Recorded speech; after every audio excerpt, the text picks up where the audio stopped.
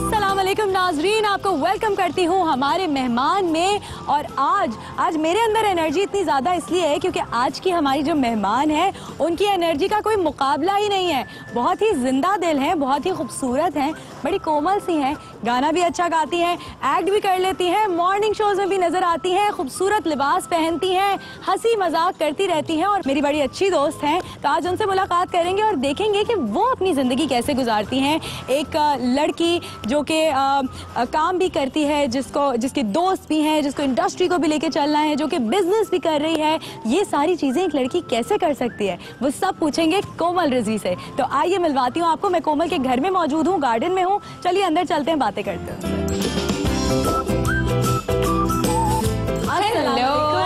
अस्सलाम how are you कैसी हैं आप? मैं बिल्कुल ठीक हूँ। आइए आइए thank you thank you so much भाई। बड़ा प्यारा घर है आपका। थैंक यू और आप भी बड़ी प्यारी लग रही हैं। थैंक यू ये कुर्ता कहाँ से? ये uh, मेरी अम्मी सिलवाती हैं मेरे सारे। वाह भाई क्या बात है। ये बड़ी ब्लेस्ड होती हैं लड़कियाँ जो माएँ उनके सारे काम कर लेती हैं। I know? I know I am very blessed with my mum because अम्मी जो है वो किचन भी ओवरसी करती। हैं। She is a really good cook अच्छा फ़िलहाल हम अ, कोमल के किचन में मौजूद है और बड़ा ये साफ़ सुथरा सा सफ़ेद सफ़ेद चमकता हुआ किचन है। तो खुद कितनी कॉन्ट्रीब्यूशन होती है मैं बहुत अच्छा खाना पकाती हूँ। मैंने लंदन से culinary आर्ट्स का कोर्स किया हुआ है।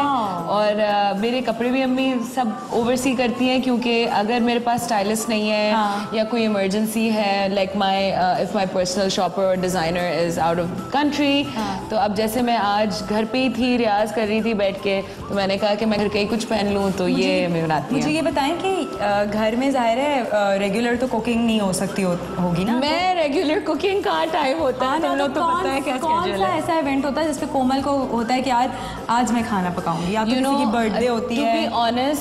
for the past uh, I um, एक साल हो गया है मैंने शायद अमेरिका में मैं बहुत पकाती हूँ। हाँ। जब मैं अमेरिका जाती हूँ मैं ऑलमोस्ट रोज पकाती हूँ। वहाँ तो पकाना पड़ जाता है ठंडा ठंडा नहीं नहीं मेरी कज़न के पास दे हैव स्टाफ एवरीथिंग लेकिन द थिंग इज़ दैट मुझे वहाँ शौक है। वहाँ यू नो ऑर्गेनिक ग्रोसरीज होती हाँ। हैं एंड एवरीथिंग इज़ ब्यूटीफुल ठंडा ठंडा ओपन किचन एंड वहाँ दिल चाहता है। यहाँ एक्चुअली काम भी बहुत है हाँ। तो इसलिए मुझे और गर्मी भी बहुत और गर्मी भी बहुत है तो ये म्यूज़िक कहाँ हो रहा होता है भाई? म्यूज़िक जो है वो बेचारा यू नो आजकल रियाज जो है वो बहुत कम कम हो रहा है यूजली मैं रोज करती हूँ हाँ। क्योंकि आपको तो पता है कि आजकल बिज़नेस में टाइम लग Oh रहा my है। लड़की ने तो- बिज़नेस शुरू कर दिया। है हम इस बारे में ज़रूर बात करेंगे तो इतनी ज़्यादा मल्टा टास्किंग बचपन से ऐसा ही है कि सब करना है जो दिल करे करना है। यू नो आई ऑलवेज मैं ये समझती हूँ कि लड़की को कभी भी जो इम्पॉसिबल लफ्ज़ है ना ये ना सोचना चाहिए ना हाँ। ना अपनी डिक्शनरी में रखना चाहिए। अच्छा भाई ये बातें तो ऐसी हैं जो बड़े इत्मीनान से करने वाली हैं और आई एम श्योर आपके फैंस भी जानना चाहते होंगे किस तरह इवॉल्व किया। बहुत सारी लड़कियाँ ऐसी होंगी जिनकी आपकी तरह की ख्वाहिशात होंगी जिनके ख्वाब होंगे वो भी सोचना चाहती होंगी हम कैसे पूरा करें। बहुत सारी औरतें ऐसी होंगी जो शादीशुदा होंगी घर में अपने रहती होंगी बच्चे संभालती होंगी मगर सोचती होंगी कि यार हम क्या करें घर में बैठ के कैसे करें। तो ये सारी बातें आज हम आपको भी बताएँगे।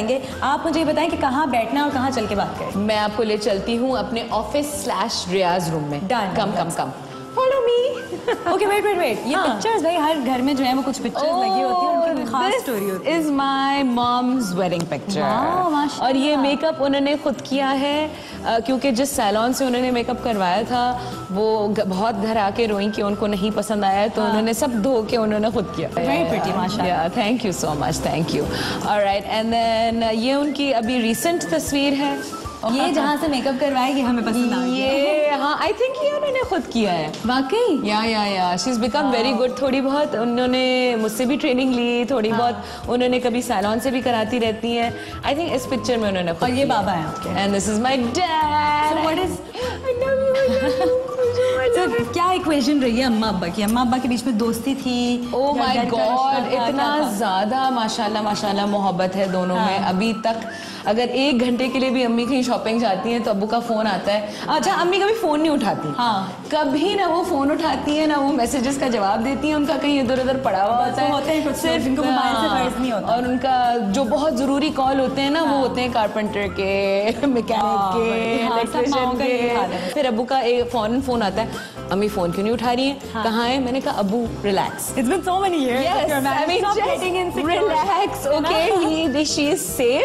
क्योंकि शी इज़ वेरी इनोसेंट तो उनको सेफ्टी का बहुत डर लगता है। तो फिर वो कहते हैं अच्छा अच्छा अगर उनका फ़ोन आए तो उनसे कहना मुझे call back okay so this is my basically my office so yeah this is where I do my business and obviously uh, आजकल थोड़ा सा बैक सीट ली हुई है रियाज ने लेकिन यहाँ मैं रियाज भी करती हूँ। But you can see my my products? सारा स्किन प्रोडक्ट्स यहाँ रखे हुए हैं। एंड इसकी सारी डिज़ाइनिंग पैकेजिंग लोगो सब कुछ मैंने ही की है। Wow. मैं आज ये सब लेकर जा रही हूँ। नहीं यार गरीब गरीब कंपनी है। ओके okay, तो कैसे दिमाग में आया कि भाई अब कुछ इस तरह का काम शुरू करना है? So you know the thing is that मैं जो हूँ I've been obsessed with skin since I was a kid. Okay. like जब लड़कियाँ अपनी pocket money save कर रही होती थी for shoes, for bags, for clothes. I was saving money for serums and face oils and creams. Wow. और जब मैं पाकिस्तान मूव हुई हूँ मैं 16 साल की थी मैं एकदम से शौक में चली गई कि भाई यहाँ तो अ, जो इम्पोर्टेड क्रीम्स हैं वो मैं अफोर्ड नहीं कर पाती थी आई वाज अ किड हाँ। राइट अभी भी मैं दस दफ़ा सोचती हूँ बिफोर बाइंग दैम एंड जो लोकल था वो उसमें ब्लीच था और उसमें प्रिजर्वेटिव्स थे और पेट्रोकेमिकल्स थे टॉक्सिन्स थे. तो I use to be like you know बहुत ही स्क्रैम्बलिंग कि भी मैं कहीं से मंगवा रही हूँ कभी किसी दोस्त के थ्रू मंगवा रही हूँ. तो दो साल पहले मैंने ये एक आइडिया मेरे जहन में आया कि भाई why don't I try and do something in skin care अच्छा अक्सर जब सेलिब्रिटीज अपनी तस्वीरें पोस्ट कर रही होती हैं इंस्टाग्राम पर फेसबुक पर तो कमेंट्स आ रहे होते हैं अलग अलग तरह के कि ये तो फ़िल्टर है ये तो मेकअप है ये है वो है। यहाँ तक तो कहानी ठीक है। मगर बात तब बिगड़ती है जब मैसेजेस आना शुरू होते हैं, जब ब्लॉगर्स लिखते हैं कि इन्होंने सर्जरी कराई है ये इंजेक्शन लेती होंगी।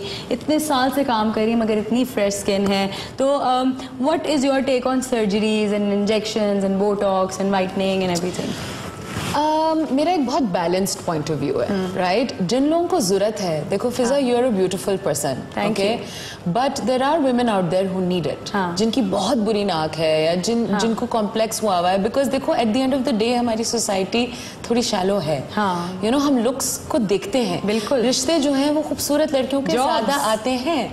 तो मैं जज नहीं करती हूँ उनको जो सर्जरीज कराते हैं जो बोटॉक्स फिलर वट एवर कराते हैं। been uh, through a surgery और कभी या तो कुछ मेरी एक्सीडेंट? की नहीं मैंने नहीं कराया लेकिन मेरे एक्सीडेंट की सर्जरीज हुई हैं। आजकल कितनी प्रैक्टिस चल रही है? ये प्रोडक्ट्स पे काम हो रहा है। अभी मैं रियाजी कर रही थी सुनोगी? वाकई? सुनाए। चलें आ जाए।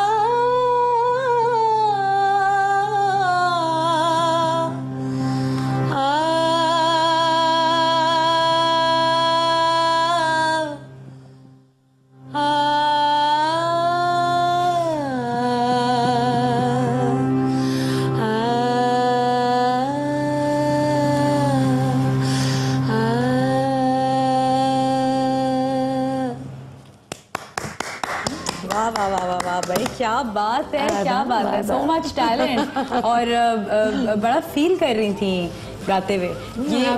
It's food for my soul for my soul. There are so many people जो कि कहते हैं कि जी हमारी म्यूज़िक इंडस्ट्री में लड़कियाँ कम हैं और uh, बहुत सारी लड़कियाँ ऐसी हैं जिनको गाने का शौक है मगर वो सीखती नहीं है। फ़ौरन म्यूज़िक वीडियो आ जाती है गाना भी रिकॉर्ड हो जाता है कंपोजर मिल जाता है बहुत सारे पैसे खर्च करके जो है गाना बन जाता है।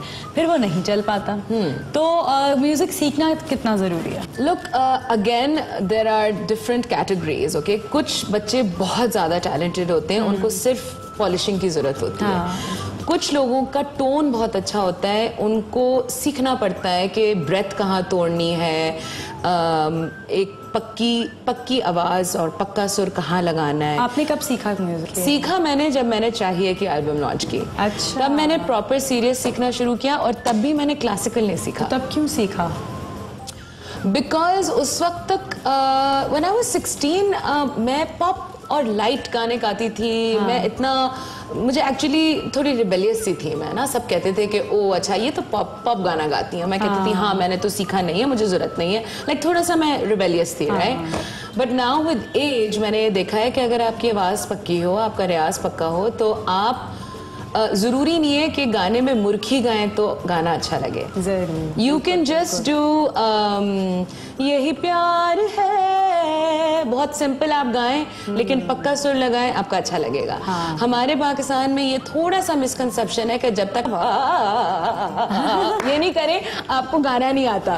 Okay that is not true because जो नुसरत फतेह अली खान साहब गा सकते थे वो मराय कैरी नहीं गा सकती जो मराय जो यू नो अडेल जो गा सकती है वो आबदा जी नहीं गा सकती। कभी ऐसा कोई वक्त कोई फ़ेज़ ऐसा गुजरा जब लोग कहते थे कि भाई कोमल को गाना नहीं आता? आई मीन मेरे मुँह पे तो किसी ने नहीं कभी कहा। कभी कोई कोई कमेंट्स पढ़े you know the thing is जहाँ तक डिजिटल uh, कमेंट्स की बात हाँ. है। मैं पढ़ती ही नहीं नहीं पढ़ती। मैं इसलिए नहीं पढ़ती हूँ क्योंकि मुझे बहुत दुख होता है। तो अगर जरा से भी मुझे कि कोई नेगेटिव कमेंट है ना वो हाँ। मैं मैं स्किप कर देती हूँ। अच्छा। मैं पढ़ती ही नहीं हूँ। मुझे सिर्फ़ nice beautiful pretty we love you ये मैं पढ़ती हूँ और इनको मैं। हार्ट हार्ट करती जाती हूँ और जो नेगेटिव कमेंट्स हैं उनको अगर मैंने पढ़ लिया हाँ। तो मुझे बहुत तकलीफ़ होता है। तो अभी म्यूज़िक में क्या प्लान मेरा नया गाना आने वाला है उसका गाना बन चुका है। नाम क्या है उसका नाम है पहली दफ़ा टीवी पे बोल रही हूँ उसका नाम है जोगिया। जोगिया। तो भाई नया गाना आने वाला है थोड़ा सा टीज ही कर दें हमारी आवाम को। आजकल वो बेचारे पता नहीं पेट्रोल से टीज हो रहे हैं सीएनजी से टीज हो रहे हैं म्यूज़िक से हमें टीज कर दें। अच्छा थोड़ी पॉजिटिव टीजिंग हाँ, हो जाए। बिल्कुल। ओके सुनो तुम्हारे सिर्फ़ तुम्हारे कहने पे मैं एक लाइन सुना thank you I love you Jogiya नाम लोगों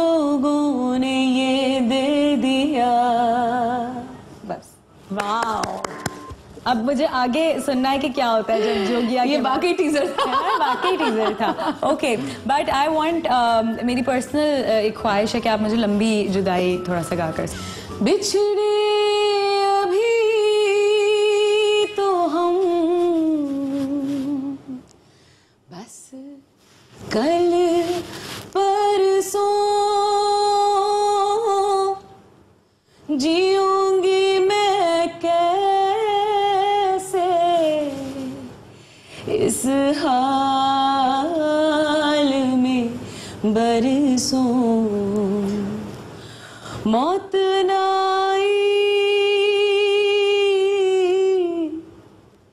मौत नाई तेरे आ क्यों आए? हाय लंबी जुदाई। वाह और ये गाना हम रेशमा जी को भी डेडिकेट करते हैं आज के शो और रेशमा जी से तो कोई आई I मीन mean, मैं उनकी पैरों की खाक भी नहीं हूँ। उनको भी करते big tribute to her she was a real true Pakistani legend बिल्कुल बिल्कुल। ऑनेस्टली अच्छा मेरे पास कुछ सवाल आते हैं आपसे करने के लिए। अ, बड़े अच्छे हम कंफी माहौल में बैठे हुए हैं। कुछ रैपिड फायर हो जाए कुछ आपके कारखाने में फायर हम जो है वो बिल्कुल, बिल्कुल। पहला लफ्ज जो आपके जहन में आता है जब मैं कहती हूँ मोहब्बत। माँ। कामयाबी। इज़्ज़त। भूख। गरीब। ज़िंदगी। म्यूज़िक दोस्त। इंसान। हम्म, शादी। कभी नहीं। क्यों? क्यों? आ, आ, पता नहीं भाई मैं बहुत डिसअपॉइंट हो गई हूँ। आपको मोहब्बत हुई है? हाँ मुझे बहुत शदीद मोहब्बत हुई थी। तो अब लंबी जुदाई हो गई? नहीं नहीं वो आ, हाँ लंबी जुदाई नहीं परमानेंट जुदाई हो गई। जुदाई हो गई। तो अब कोई ढंग का डिसेंट शरीफ अच्छी फैमिली का लड़का शरीफ लड़का कैसा होता है? शरीफ लड़का ये हो जो दुख ना दे। जो इज़्ज़त करे जो आ, मुझे मैं रहने दे यू नो आई मीन या और आ, जो मेरी फैमिली को मोहब्बत दे। ऐसा भी कोई है कहीं आगे पीछे No. नज़र में? नहीं है? ऐसा कोई है लाइव आदमी पूरी दुनिया में? तो फिर है तो मुझे नंबर दे दे। क्राइटेरिया थोड़ा कम करे ना। हाँ? क्राइटेरिया थोड़ा इजी करे ना उसके लिए। अच्छा तो शरीफ नहीं बदमाश अच्छा मुझे मुझे चलेगा।